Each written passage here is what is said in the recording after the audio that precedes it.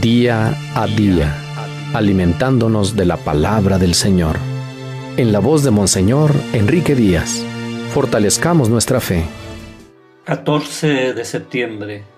Señor, me pongo en tus manos. Haz de mí lo que tú quieras. Estoy a tu entera voluntad. Evangelio de San Lucas capítulo 6 versículos del 27 al 38. En aquel tiempo Jesús dijo a sus discípulos, amen a sus enemigos, hagan el bien a los que los aborrecen, bendigan a quienes los maldicen y oren por quienes los difaman. Al que te golpee en una mejilla, preséntale la otra.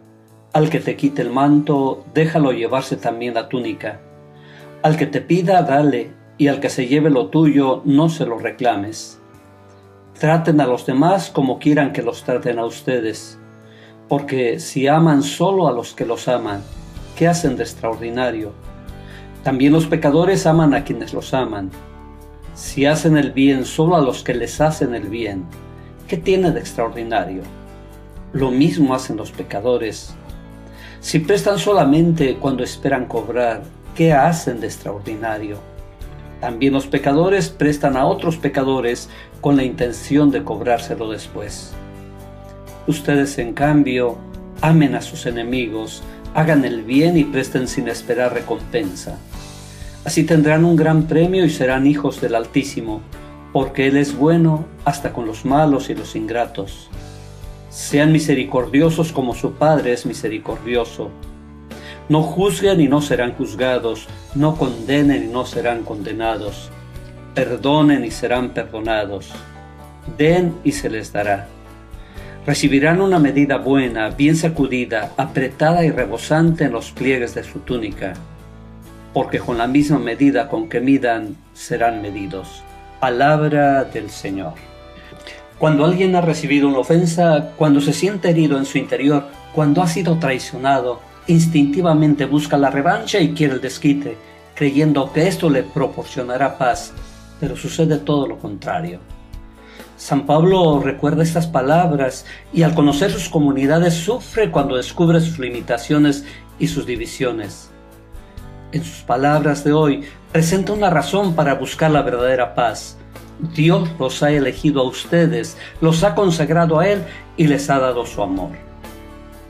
Quien se sabe amado por Dios, quien se sabe elegido por Dios, quien experimenta cuánto amor le ha tenido Dios, puede encontrar una paz interior.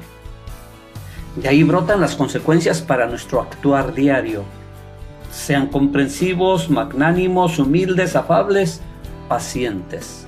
Suenan a música estas palabras de Pablo. Son una invitación a ser personas que miran a los demás desde el amor que han recibido de Dios. Solo alguien que se sabe amado puede tener estas cualidades.